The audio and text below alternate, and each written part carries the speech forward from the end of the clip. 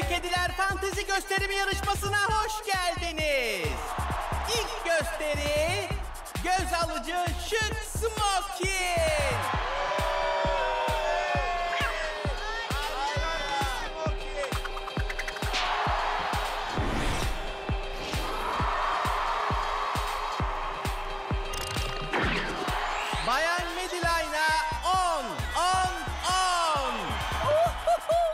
Geçebiliyorsan geç.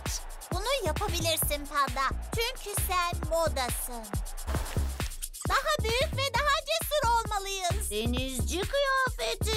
Hayır, yüksek moda, yüksek. Sen nasıl istersen. Biraz tuhaflaşalım.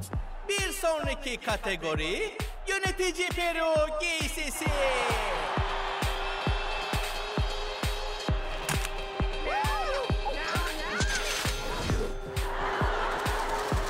Sıkıştı. Balon mücevheri. 10. Disco kotu. 10. Eski hologram. 10.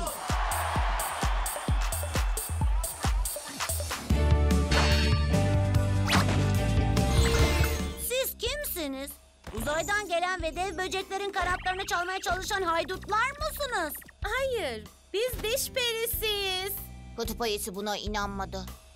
Değnekler. Diş. Diş perisi. Kutup ayısı hala buna inanmadı. Gelin size aletlerimizi göstereyim. Diş Perisi Teknoloji adında bir şirketiz. Wow! Şu havalı değneklere bak. Kutup ayısı buna bayılır. Aslında o Glenn'in salyo koleksiyonu. Ah, tuhaf hobilerim var. Bu yakışıklı da kim böyle? O şirketimizin kurucusu Orville Tusk. Zaten isminden de belli.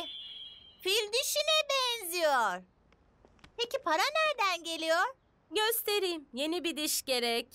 İşte Aa, teşekkür ederim. Önce diş perisi uygulamasıyla dişi buluyoruz. Dişi yok ediyoruz ve yastığın altına para koyup payımızı alıyoruz. Tada! Bing! Vay canına. İnsanlara diş sağlığı konusunda yardım ediyorsunuz. Ne asil bir meslek. Evi böyle mi aldınız? Evet ve sanal gerçeklik gözlüğünü de. Zormuş. En iyi kısmı da isteyen herkes diş perisi olabilir. Biz bile mi? Evet, uygulamayı indirip kabul tuşuna basıyorsun. Oldu. Ah, vay canına, teknolojiden anlıyorsunuz. Sadece kanatlara ihtiyacınız var. Wow! Pekala. Hadi giyinelim.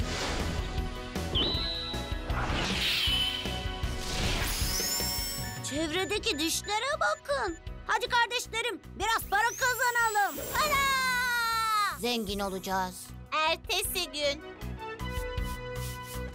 Bütün bir gece çalıştık ve 25 altın sikke kazandık. Tebrik ederim. Bir ev alacağız. Ve kocaman bir televizyon. Kutup ayısı altın bir tuvalet alacak.